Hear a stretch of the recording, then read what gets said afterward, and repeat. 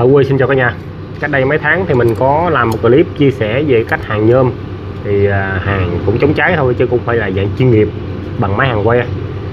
Thì cũng à, có nhiều bạn gần đây thì à, comment lại gửi tin nhắn qua Zalo. Thì có nghĩa là hỏi mình cái cách làm rõ ràng hơn Để ứng dụng trong công việc. Mỗi khi mà kẹt thì cần thiết, nhưng mà kiếm thợ hàng nhôm thì khó khăn ở những cái nơi mà không có thợ hàng phải đi xa, thì mình có thể mình hàng chống cháy bằng cách này. Vẫn đẹp, vẫn chắc, y như là đem đi thợ hàng. Rồi bây giờ mình sẽ chia sẻ ờ, chi tiết cặn kẽ hơn trong clip này. Thì ờ, qua cái món đồ hôm nay mình hàng là cái cánh quạt của ờ, cái máy giặt ha. Rồi, đây là những cái que thổi than thì nếu mà cả nhà muốn tìm hiểu sâu hơn về công dụng của những cái que thổi than này, thì mình lên Google cái nha đó, thì mình à, vô Google nè. Thì mình à, khi mình vô Google mình có thể bấm vô cái micro để mình nói luôn nè. Que thổi than trời nó ra khẩu trang ông nội ơi. Để mình nói rõ hơn lại nè. Que thổi than đó thì cả nhà thấy là mình nói là nó ra luôn. Đồng thời sản phẩm nè. Giá nó cũng rẻ thôi. Đó, thì cái công dụng của nó là dùng để à, cắt sắt nè khoét lỗ hàng. Nói tóm lại là mình làm sao không biết nhưng mà nằm trong cái phạm vi công dụng của nó ha. Thì cái này à, cả nhà mình ai quan tâm thì cứ việc tìm để mua. Rồi à, mình à, thao tác thử. Để à, sử dụng những cái que này thì mình dùng nó như những cái que hàng thông thường thôi. Là cái à, cách à, dùng là mình kẹp vô. Thì ví dụ như đây là món đồ cần hàng đi thì mình sẽ nấu mát vô trong một cái đế sắt rồi mình để lên đó xong rồi mình chấm vô là mình à, sử dụng đó. Thì thay vì mình kẹp cái này thì mình kẹp cái đầu này vô. Đây nó có con đầu đen với đầu vàng là mình kẹp cái đầu đen vô. Còn đầu vàng thì để mình à, sử dụng. Khi mình cắm vô mình chấm thì que hàng nó chảy ra nó dính. Còn cái này nó không chảy mà là nó sẽ ửng đỏ. Đó nó sẽ ửng đỏ. Để mình lấy cái độ nóng đỏ đó đó mình sử dụng cho bất cứ công việc nào mà mình cảm thấy là nó phù hợp và hôm nay mình ứng dụng nó trong cái công việc hàng nhôm đó. Thì có nhiều người thì nói hàng không được hàng không được là bởi vì những người đó hàng không được chứ không phải là ai cũng hàng không được hết. Đó đây là một cái chân lý chung. Và hôm nay mình sẽ hàng cái món đồ này để chia sẻ và không phải để phổ biến rộng rãi cho những anh em dùng nó để thay thế cho những cái phương pháp hàng nhôm khác. Nhưng mà đây là mình chống cháy khi mà không có cái tiệm hàng gần. Đó, mình sử dụng cách này. Ví dụ như giờ anh em sửa xe Honda đi. Lỡ đập bể cái lốc đó lỡ đục đóng gì bể cái lốc rồi bây giờ chạy đi năm bảy chục cây số để đi kiếm thợ hàng ở tỉnh ở thành phố. Mình ở huyện ở xã không có thì bây giờ mình chống cháy bằng cách này để khắc phục. Rồi bây giờ không nói nhiều nữa. Nhào vô luôn nha cả nhà. Rồi hôm nay thì mình sẽ hàng bằng cái máy hàng này. Đó, thì cái máy hàng này cũng là cái máy hàng rất là cù ấp tiên sinh thôi. Chứ nó cũng không có phải là một cái máy hàng là hiện đại gì hết á nó chỉ có một bo thôi. Máy hàng này là máy hàng đời cũ. Cái đời bảo đại của mắt Uli ha. Rồi, bây giờ mình sẽ bắt đầu mình nối ờ, dây vô nè. Thì bên kìm hàng. Mình cũng ờ, y như là mình hàng ờ, que vậy thôi. Mình cho nó vô dây trừ. Đó. Còn bên mát nè, thì vô dây cộng. Rồi, tiếp theo là mình cần một công cụ hỗ trợ cho cái việc làm nóng cái món đồ hàng là cái đầu khò ga thì đầu khò này để dành mình kho thịt mình nọ nè kho lông heo rồi nọ. Bán thị trường ờ, tất cả các tiệm tạp hóa đều có bán. Thì cái đầu kho này mình mua giá nó cũng rẻ thôi mấy chục ngàn hay gì đó. Mua lâu quá cũng quên rồi. Rồi ở đây mình sử dụng một thanh nhôm. Đó, thanh nhôm này là mình nấu chảy ra. Thì à, bởi những cái à, bê tông cũ hoặc là lốc máy dây chai đó mình nấu ra để mình lấy nhôm mình hàng rồi bây giờ mình ờ, sẽ kẹp nó với cái phạm vi ngắn thôi. Đó mình kẹp nó với phạm vi ngắn cỡ như đây thôi. Để cho cái đoạn mà nó đỏ nó chỉ ngắn thôi. Để nó nhiều quá nó nóng. Ví dụ như mình kẹp trên tới cái đầu như đây thì nó đỏ nguyên một cái thân cây thì nó rất là nóng. Mình ngồi gần nó nóng dữ lắm mà cũng cần thiết nữa. Mình kẹp cho nó ngắn thôi cái phạm vi nó ngắn để mà mình sử dụng cái chỗ đỏ đó, đó cho cái công việc của mình là đủ là được rồi. Trước tiên là mình làm sạch cái bề mặt cái món đồ mình cần hàng. Đó, cái cánh quạt này thì ờ, cái ông chiến hữu ông đóng đục ra sao đóng biết mà đóng gãy luôn cái quạt luôn. Ghê không? Cao thủ võ lâm mà. Giờ mình hàng lại sẵn ờ, chia sẻ luôn.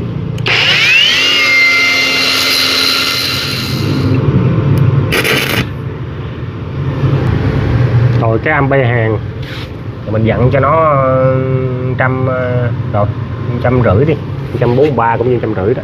Ba cái đồng hồ này nó cũng chính xác mấy không rồi, bây giờ mình mở ờ, cái đồng đầu hồ lên luôn. Rồi mình lấy cái lồng xe hay là cái gì đó không biết. Nếu mình gác vô, mình gác vô mà cho cái nhiệt độ này nè. Nó rọi thẳng vô trong cái món đồ mình cần hàng liêu riêu riêu vậy đó, là ok nha. Rồi bây giờ mình sẽ thực hành nè. Rồi bây giờ mình hàng ở đâu? Thì mình cho lửa nó vô ngay chỗ đó đó. Thì lửa điêu riêu thôi. Cái lửa lớn quá thì nó cũng ờ, khó hàng lắm.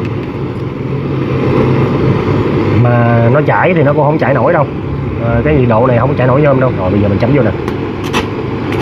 Mình cứ nèn nèn vài cái trước đi để cho nó có cái lửa lớn lửa mạnh đó rồi nó chảy ra mình ghim giữ luôn. Rồi bây giờ mình ờ, trang ra nè. Đó mình dùng cái que mình trang ra. Mình trang ra để mình thay thế uh, cái cây à, que mà bình thường mình hàng nhôm mình hay cầm, mình trang á bây giờ mình không cần nữa. Mình lấy cái que này mình di luôn. Nếu mình thấy nhiệt độ nó hơi thiếu, mình nhá lên để cho nhiệt độ nó cao lên. Đó. Rồi. Cứ tiếp tục vậy mà làm thôi. Rồi, bây giờ nó ngoài này nó đã dính rồi đó cả nhà. Ừ. rồi. Bây giờ có thể mình cầm cái đèn lên để mình thao tác luôn cho nó dễ nè. Mình cầm cái đèn khò lên. Đó, bây giờ thì nó đã dính rồi đó.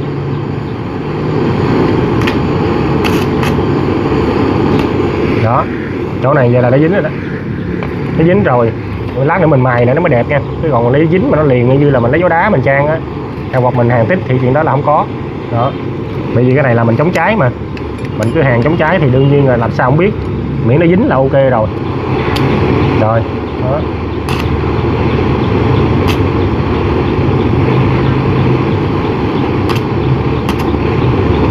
Ờ, thấy mà nó ờ, nhiệt độ nó hơi kém thì mình nhá lên, mình nhóm lên, mình chấm xuống để cho nó có lửa, thì nó mới nóng.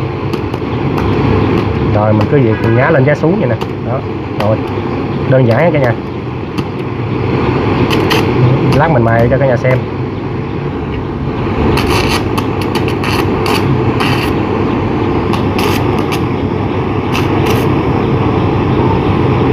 Nhôm chảy ra đó. Nhôm chảy ra thì bắt đầu mình di đi tới đi lui nè. Thỉnh thoảng mà dở lên để cho nó có nhiệt độ cao chút xíu.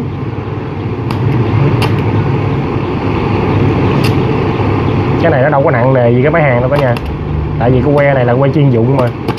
Nó dùng để gồng điện thổi than rồi để lấy cái nhiệt độ cao để ờ, dành mình thao tác trong công việc mà. Đâu phải mình xài bậy bạ đâu. Cái que này nhiệm vụ của nó là để ờ, đốt đỏ mà.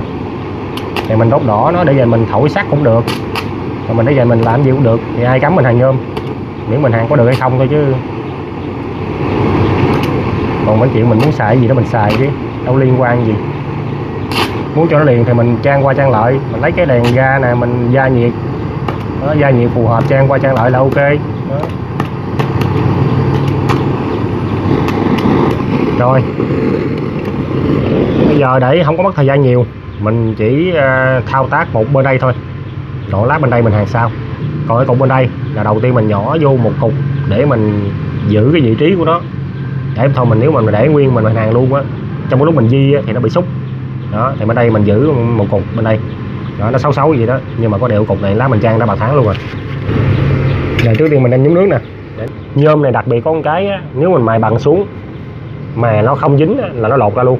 Đó nó chỉ đắp một lớp ở trên là nó lột ra luôn. Bây giờ mình mài thử nè.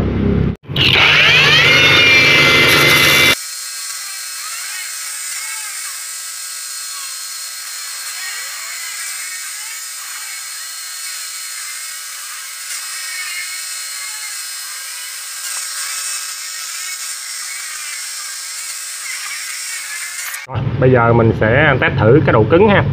Nếu như mà nó không dính thì đương nhiên là mình gõ nó sẽ rớt. Đó. ok ha. Đó.